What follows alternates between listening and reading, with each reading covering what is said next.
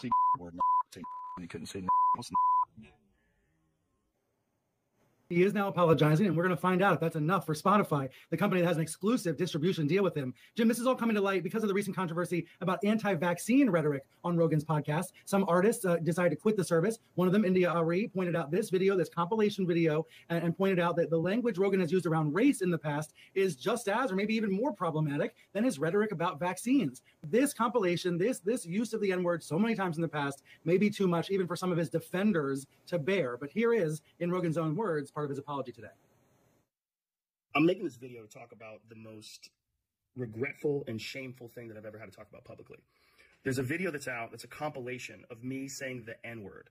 It's a video that's made of clips taken out of context of me of 12 years of conversations on my podcast, and it's all smushed together, and it looks horrible, even to me. Now, I know that to most people, there's no context where a white person is ever allowed to say that word, never mind publicly on a podcast. And I agree with that now.